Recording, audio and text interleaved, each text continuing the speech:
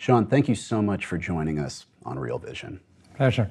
So, in studying your life, growing up in the shadow of Mao's China, to doing hard labor in the Gobi Desert, to making your way to the US, earning your master's, your MBA, your PhD, to becoming a managing director at JP Morgan, to now being CEO of PAG, where you oversee $30 billion. You've led an incredible life, but I want to hear it from you. Talk to me a little bit about how you came up and how you became the success that you are today. I'm not quite sure if I would call where I am today as a success. I'm still trying very hard. But um, I didn't choose my life, it was chosen for me, especially growing up in China during that period of time. You know, I wrote this book. It's a recount of history, the most horrible part of Chinese history that I lived through.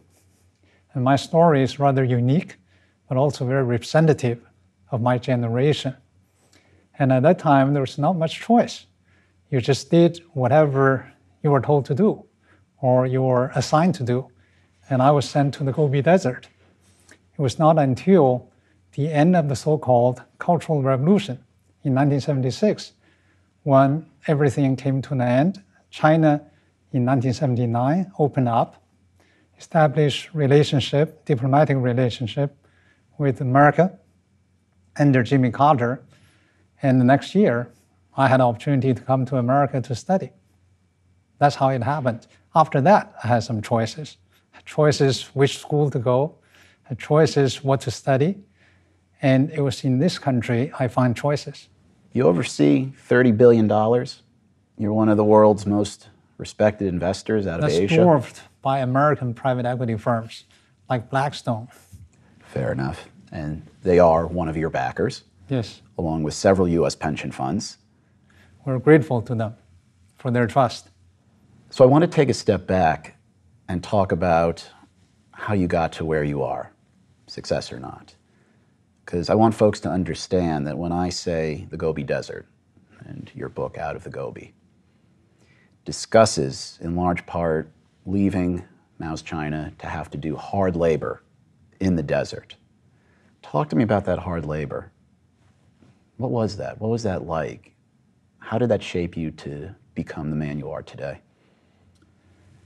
School came to an end for me when I was 12, when I finished elementary school. The country was in chaos.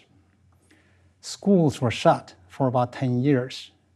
And when I was 15, I, together with my friends, classmates, were sent to the Gobi Desert. And we had to do very hard labor. We were told to grow crops in the desert. And you can imagine how hard that is. And not surprisingly, we were not too successful talking about success. We had to build huts, shelters for ourselves because there was no place to live. I made bricks. That was back-breaking job. We had to work 16, sometimes 18 hours a day, back-breaking. And some people became sick and permanently disabled. It was very cold in wintertime, something like minus 10 in wintertime. Bad part is that that's the temperature inside and out. There's no heating, there's no fuel.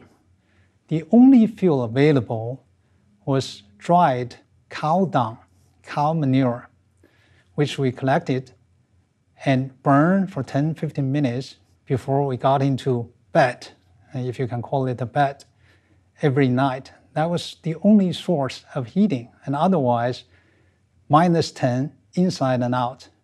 If there's a blizzard, to go out to the outhouse was life threatening. It was a big risk that you would have to take. And don't ask me how we coped with that. So when I first came to this country, I hear people talk about uh, there's expression if they don't agree with each other, they say bullshit. And I would think to myself, that thing used to be very dear to me. And that was the only source of heating that we had. So to this day, I like to sit by a fireplace because we experienced so much cold. And that life didn't come to an end until about six years later. And of course, the worst thing during that period of time was starvation. There was never enough to, to eat. If you look at me, I you know, probably look uh, emaciated uh, to you, and that was the starvation from that time. And then you were able to teach yourself math by candlelight, if I'm not mistaken. I did, in an unsystematic way. I just read whatever books I could lay my hands on. And there was no school, as I mentioned, for 10 years. So very few people bothered to read, to study. And in fact, all the books were banned. Reading was frowned upon. I got into trouble by doing it. But at the end of it, I was somewhat educated because I didn't give up. And eventually I was able to obtain a formal education, including a PhD from UC Berkeley. So when I look at the kids today, especially in this country, I think they're so privileged. You know, they have the education. Unfortunately, many people take that for granted. We couldn't. It was a privilege that we didn't have. But studying, reading, got me where I am today. Had I given up, like most of my peers at that time, I would not have had a job at this particular point, as most of my friends have long lost their jobs. When China opened up, they didn't have any skills to obtain any decent jobs because for 10 years there was no education. So, education to me is the most important thing it gets to where you need to be or where you want to be, especially in this country.